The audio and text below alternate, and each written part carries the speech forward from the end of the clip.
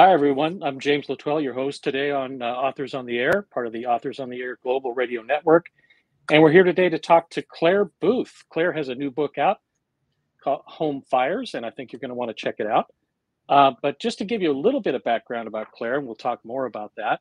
Uh, Claire is formerly a crime reporter for daily newspapers throughout the United States. She's used this experience to write five previous Sheriff Hank Worth mystery novels based on small town American life. And she's also the author of a nonfiction book, The False Prophet Conspiracy, Extortion, and Murder in the Name of God. And she lives here in Northern California. She's an active member of Sisters in Crime and Mystery Writers of America. And welcome, Claire. Hi, how are you? I'm good. Good to see you. I never get to see you ever. no, no. so this is a treat, though. Um, the latest uh, in the Hank series, Home Fires, really starts out with a, a, a, putting Hank in a really challenging situation. He's got this mass casualty event and some secrets from the past that kind of start to creep up on him. Uh, can you tell us a little bit about the story in Home Fires? So it uh, it starts off with an explosion at a um, fireworks storage warehouse, and so it becomes a mass casualty incident that Hank has to um, rush and deal with. So he has competing interests. The, the feds are involved, the, the state authorities, um, his sheriff's department, uh, all sorts of you know conflicting interests there um, as well as as grieving families and you know the community that's trying to make sense of this uh, in the meantime um, they're kind of left high and dry the uh, region's um, pathologist, uh, the medical examiner, has just died. Um, uh, completely naturally, but uh, he is no longer available to, you know, handle this mass casualty incident. So they bring in someone new, and that person uncovers um, some dereliction of duty uh, in the medical examiner's office, and that um, spins Hank off in a completely unanticipated direction. No, that's that's a, a good way to describe it. And the way you open the book up, it's in that the funeral for that now deceased mm-hmm. medical examiner, and it's a dark, serious time, but it's funny. I mean, the, the way Hank and those respond to the, to the situation, it's it's it's really it's really great. I love that. Now, um, you've been working with Hank in this series for mm-hmm. now six books. Um, yeah. So his character has changed a little bit over time, but maybe tell folks who maybe aren't familiar with the series who Hank is and a little bit about him and his background and where he is now in, in Home Fires. Oh, okay. So uh, the series starts out, Hank has um, always been a police officer in Kansas City. Um, and he lived up there. His wife is a, an emergency medicine doctor, so she works in the hospital, and they have two little kids. And they moved down to Branson in the Missouri Ozarks to help uh, help out his widowed father-in-law, uh, his wife's dad, and um, so once they're there, he needs a job and he applies to the sheriff's office, and instead of getting hired on as just a, a typical deputy, um, they make him sheriff. The job had recently become vacant, and so they appoint him to be the actual sheriff. Uh, he has never been a manager before. He's just been a, a patrol officer and a detective. And suddenly he's put in charge of an entire department and a budget and staffing and all of these things that he doesn't really care about. He just wants to do police work. So, um, you know, he is trying to find his footing uh, in, in, in every book that takes a, a little bit different form. Um, and him getting used to kind of the the insular small town of Branson, and then uh, all the things that make Branson completely unique in the country. Uh, you know, with its tourism and its country music theaters and and all of those things. And so each book has him juggling that and juggling um, you know problems within his sheriff's department and uh, his his family and things like that. So it's been a lot of fun to to kind of play with that and have him develop, you know, over the course of the books. Yeah, and, and he has, and he's been. It's fun to watch his his story, and even some of the characters around him that you really don't have secondary characters in your book. They're all fully fleshed, and you know, like like Sheila, his his second in command. I get a kick out of her. Um, the, the, characters are just done really well, and I, I, appreciate that in, in your in your books. Oh, thank you. Yeah. Um, now you mentioned Branson and small town America. How, how was it that you chose that locale as a setting for for this series? Uh, so that's a very legitimate question. You know, as I sit here in Northern California, why why am I writing uh, about the Missouri Ozarks? Uh, so I went to college at the University of Missouri in Columbia.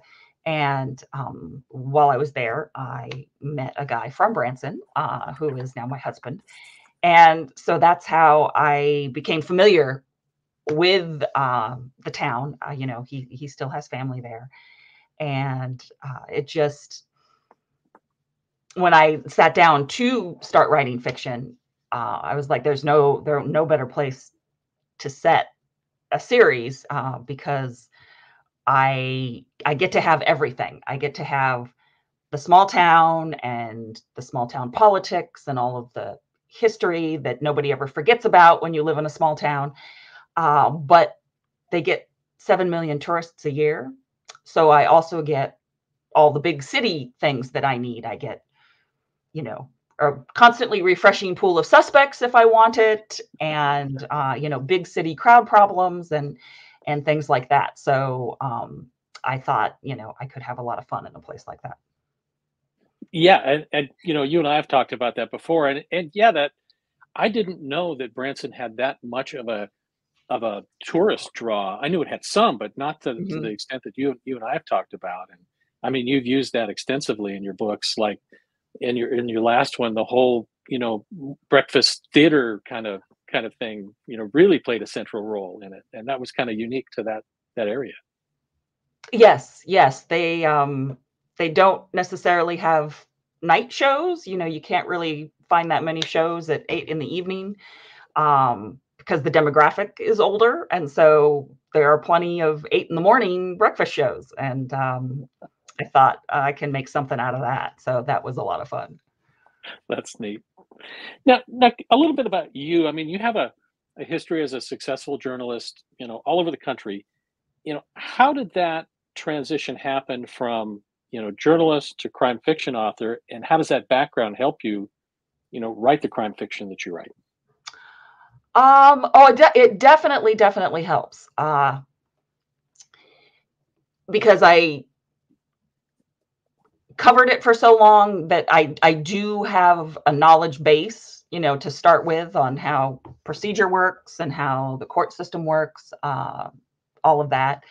Um, kind of how the, the minds of people work. Um, and that just more from reporting on on anything you know getting to talk to people who uh, aren't like you who have completely different life experiences and getting to to know them um, i think has been very very valuable uh, for all of my writing you know to just be able to put yourself in in the shoes of of someone who is different than you and that helps in then writing characters that are different from you or have different opinions and goals and and things like that. So it's been been very very helpful as a background to have yeah. And i think you're you're one of the the crime fiction authors that pulls it off with writing procedurals not having that you know law enforcement background. There's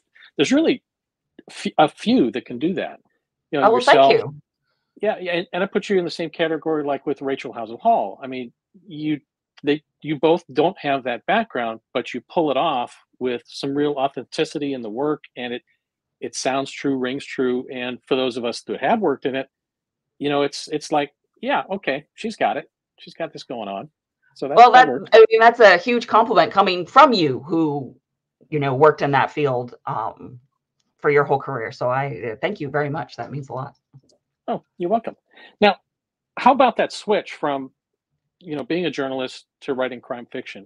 Um, why, why did you make that that shift, and uh, what went into that uh, that work that shift there?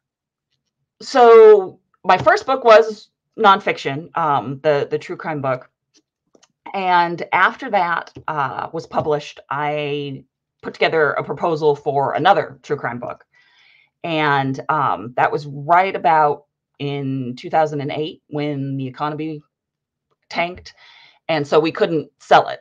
My agent and I couldn't sell that one, and um, so I sat there and I was like, well, I'm not going to do yet another true crime proposal because you know the one in my drawer didn't sell. And um, so i thought well i'll i'll try fiction. And it was very difficult. It honestly felt like uh, i was using different muscles in my brain mm. you know because the you, you never make things up in, in journalism and now all of a sudden I was telling my mind to, to start making things up. And so um, that was a very hard hurdle to yeah you know to get over and to train my brain that that it was okay to you know start making things up. Yeah i bet that was a shift. That yeah that that would be a tough uh, tough one to cover now you've got six Hank Worths out now, mm-hmm. uh, but I understand there's a couple more in, in the pipeline. Can you kind of tell us where Hank is going to be going and what you're going to be putting him through? So yes, so the um, I am working on number seven right now, and so I have a deal for seven and eight. And um, oh, let's see, seven is uh, I got to do some some personal um, some personal issues need to be be worked out um, as, as a result of of book 6 mm-hmm. um, I've got some um, some cleanup to do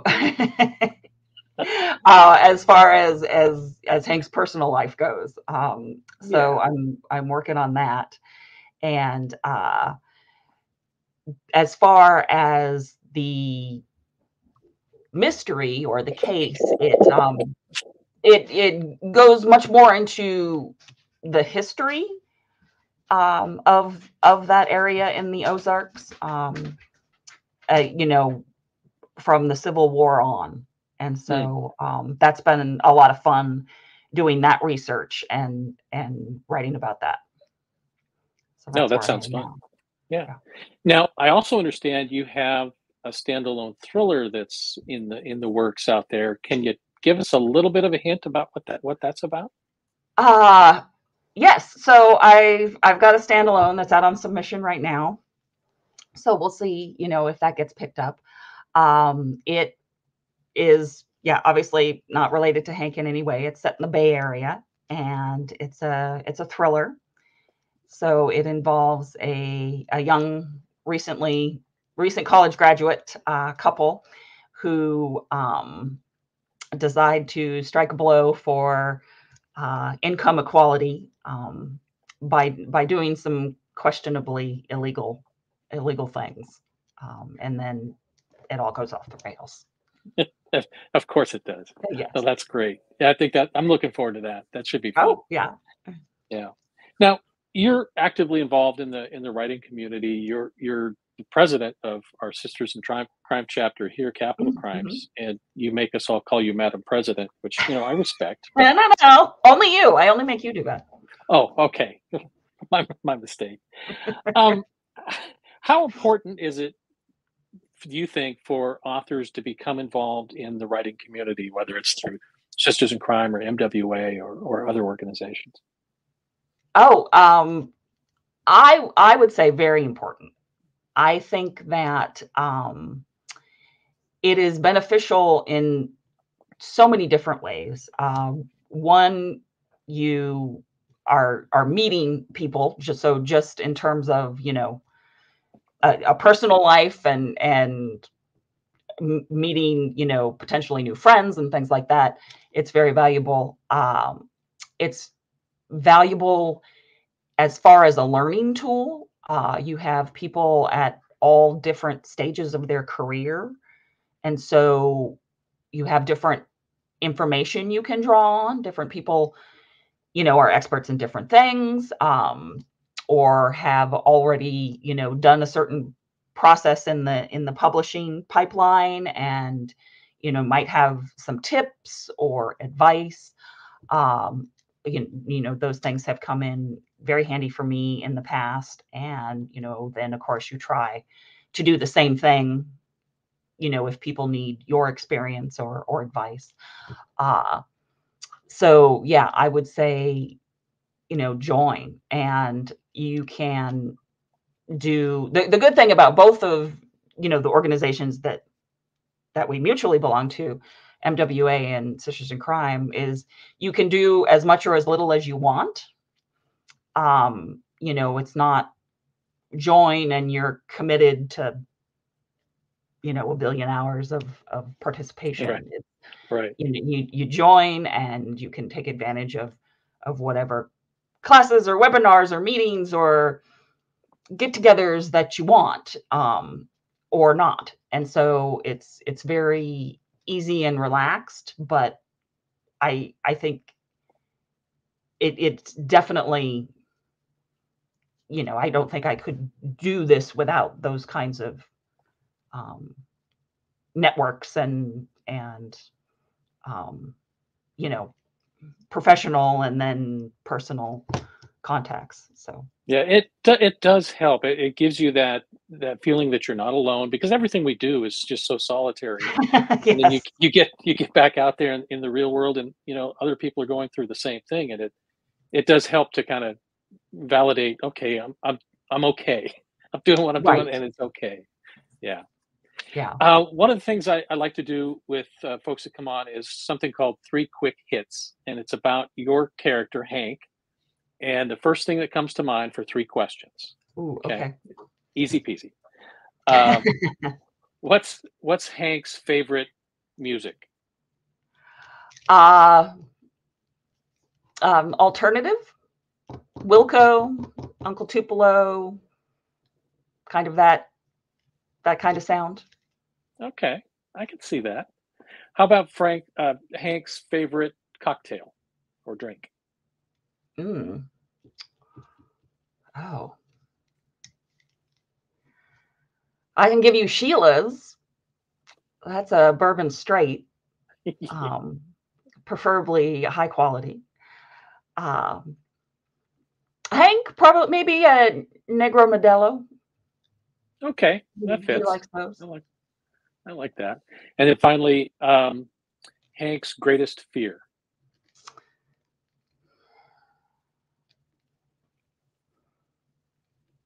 That that his family would would not be okay. hmm That keeping his family safe and well and happy is is his his biggest goal. His yeah. That makes sense. Perfect sense for Hank. So, where can folks find you next out on the road, and how can they connect with you on on social media? Oh, so I will be at the Avid Reader in Davis on May 9th with uh, Susan C. Shea um, from the Bay Area Sisters in Crime. And um, yeah, we're going to be having a fun conversation. Um, she also has a recently released book, um, Murder and the Missing Dog, which is set in France. So um, I think cool. we'll have a, a fun time um, on that. And then I am I'm on Instagram and Facebook and uh, kind of on Twitter, but not super good on that. Um, but I yeah, I I'm enjoying Instagram, so you can definitely you know find me there. Good deal. Well, Claire, this has been a lot of fun talking with you and chatting about your new book, uh, Home Fires. It's out, folks. So, you know, it's not independent bookstore day, but you can always go order it or get it Yeah. at your local bookstore. So please do that. And th- it's been a blast talking with you again, Claire. Oh, you too. Thanks a lot, Jim. Alrighty. Take care, everyone. We'll see you later.